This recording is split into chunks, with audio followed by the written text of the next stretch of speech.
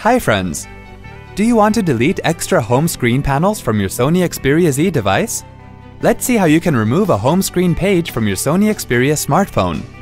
Screen transitions shown here are a bit different from the real-time transitions on the device screen. On the home screen, touch and hold on a vacant space on the screen to view all the home screen panels. Go to the home screen page you want to delete. To delete a home screen page, tap the close icon on the top right corner of it. Tap on delete to confirm. See? That wasn't hard at all. Thanks for watching.